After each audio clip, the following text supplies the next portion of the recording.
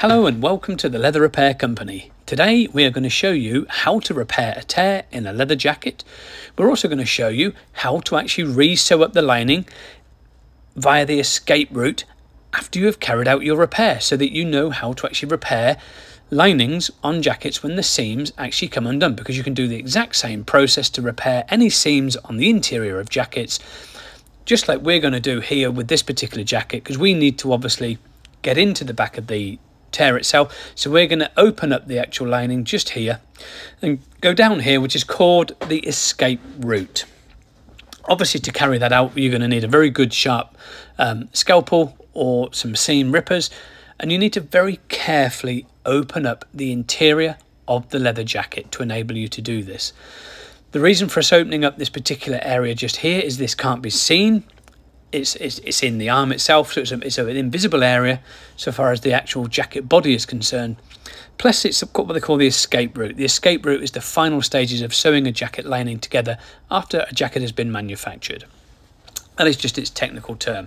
But what we need to do, we need to open up the jacket there to enable us to get a piece of timber in. We want to get a piece of melamine timber in there because we need a, a the the actual base platform uh, structure needs to be very solid and strong so that when we're bonding the tear together, we can push against a stable base.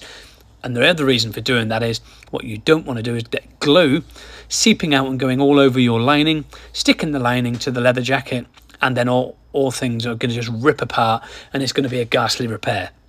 So this enables you to do a repair without getting any glue on the lining, which is going to make it look horrible and it's, going to go rigid and solid.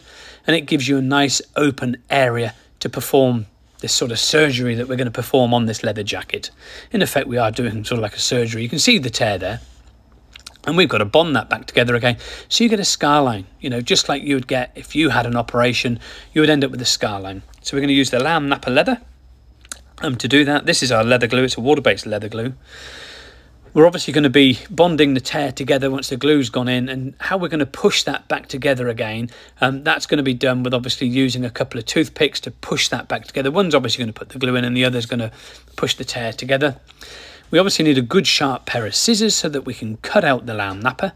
The lamb nappa is around about, an, as I said, 0.85 to 0.95 mil thick. It's what they call a gloving leather.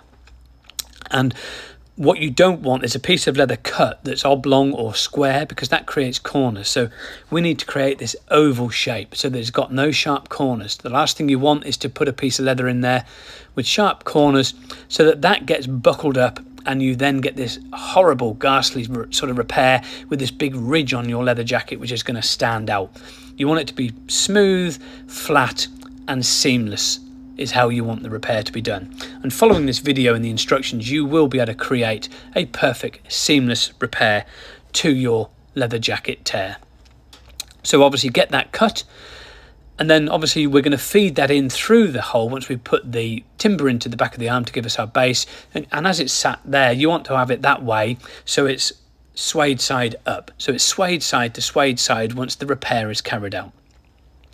And here we're just going to show you how big the sort of hole is. We put a hand in the back here and then stick our finger through the actual leather so that you can sort of see our finger um, coming through and then you can sort of see there, you know, how sort of big the tear is and, you know, what it's like. And you can, you can sort of see our finger coming through this. You can see what it's like. So it's, it's, it's not a very big tear, but it is a reasonable tear. That's the piece of timber we obviously need to get that fed into the back so that we've got that nice stable base to work on. Because sometimes you need to sort of like bang the tears together um, with like a special um, upholsterer's like a sort of it's like a special tool it's like a hammering tool um, and it enables you to sort of push them down flat and remove any excesses or sort of like ridges in the leather when you're doing repairs. And it's like a special um, product is like bang down flat and it gives you that nice sort of stable base again. Um, and, and, having the timber in there allows you to do that. That also stops you getting glue on your lining and creating other issues that could be created if you didn't have that in position. So you can see we've got that there now and we're ready to sort of obviously start putting the lamb leather backing into the hole. And you can see there we've shown you what it's like. So just feed that down and then we can get that pushed in um, with the toothpick. Obviously, you want to keep it so it's suede side up when you're doing the repair. You don't want it so it's finished side up because it's not going to glue very well. So suede side up, that'll then go onto the back of the jacket so it's suede side to suede side. And just feed that in. Make sure it's nice and flat and smooth. Check to make sure there are no ridges and that you're happy with how it looks. And then we're going to obviously glue that down so that we can get that put into position. And again, we're obviously using the water-based leather glue to enable us to do this repair to this tear on this leather jacket. Just get some on the toothpick or onto your leather uh, you know, glue repair stick and just carefully feed that in to the back of the tear so that we can get that into position. Don't be shy with the glue. You want to make sure you get plenty in there. Obviously, don't get too much in there, but get sufficient in there to give it enough bond onto both surfaces on the piece of backing fabric that you've put in and onto the actual leather at the back of the leather jacket itself as well. You can use a poly cotton to do the tear repair, but again, it's more important that you understand that you do have that wood in there because obviously when you're gluing with a poly cotton, the glue can seep through the poly cotton and get onto your lining and then glue the lining to the back of the jacket. And once you start moving, you'll rip that off and you'll most likely rip off the poly cotton with it as well. And you'll end up with probably a bigger tear than what you had previously. So make sure that you do have that piece of timber put into the back of the jacket when you're actually carrying out the repair. Using this the toothpick here, just push that into position and then use your finger to do any smoothing out to remove any excess sort of ridges and tap it down to make sure that that's nicely in position. And you can see there, that looks actually quite remarkable. I mean, you obviously are going to get a scar line left with the repair that you're doing.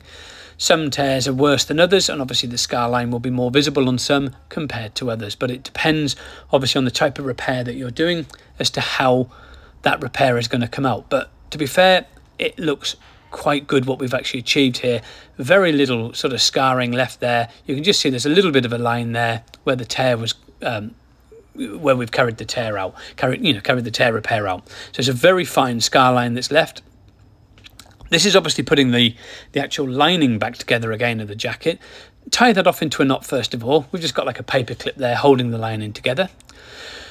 What you can actually do with some, you know, sometimes with linings is you can actually use like a seamstress double-sided tape. You can get these in all sorts of varying sizes as well, um, of widths, so that you can then use a small fine one. You can get like a sort of probably like anywhere between three to five mil wide, and you could glue that together with a double-sided tape and then sew the lining up. Obviously, we're just going along there.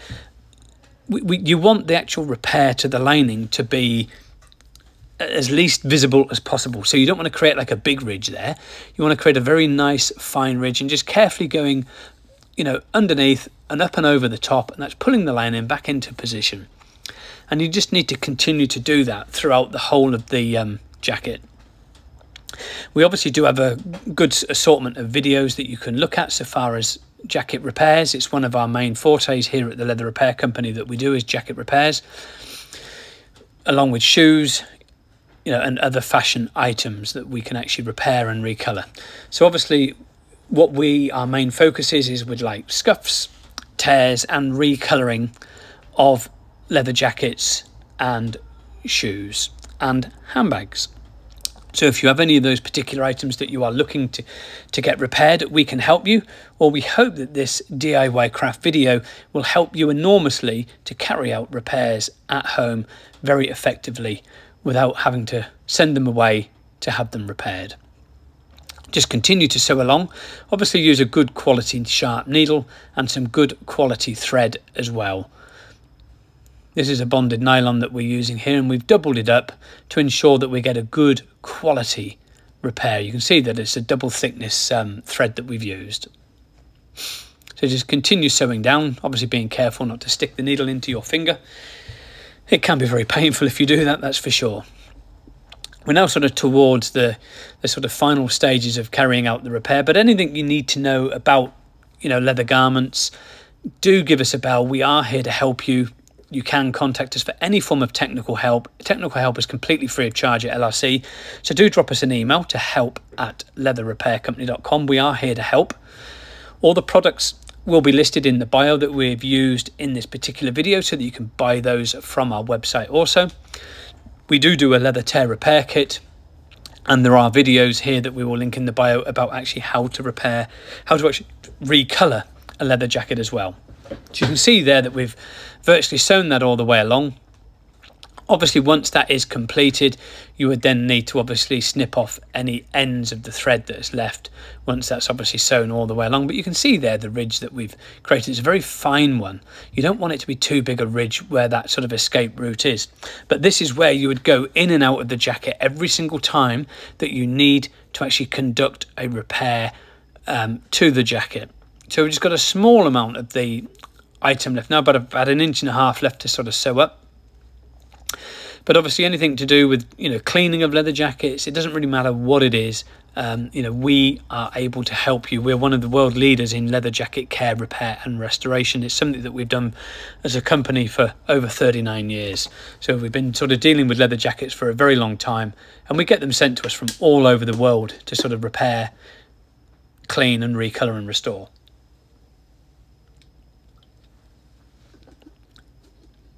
You can see there we're at the final stages of what we're doing with sewing up the lining, but that is how you would sew up the lining, you know, of a leather jacket where you've carried out a repair. You'd always go in through that escape, you know, route area to conduct your repair. That gives you access to the whole of the leather jacket, the whole main body, just through that one particular arm. And we're just carefully getting that sewn up. Once we've obviously got that sewn up, we would then pull everything back into position and you can then see what the tear is going to be like from the actual front of the item. So you can see there, we've sewn that along. Looks very nice, looks very neat. Obviously this is extremely close up. And then you're just going to finish that off. Um, and you can see there, we're going to go in just to sort of finish off the actual stitch itself to lock that off.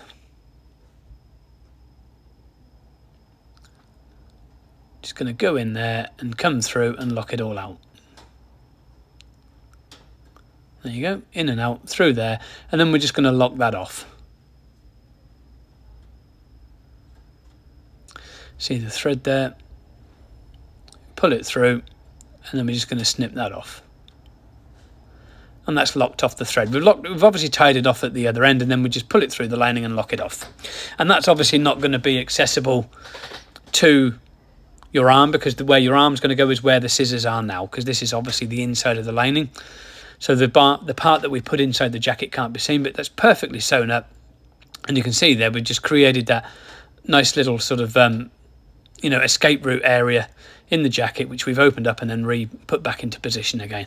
And there you go. There is the jacket all put back together again and the tear repair carried out. And it's looking absolutely fantastic where that's been done. Thank you very much.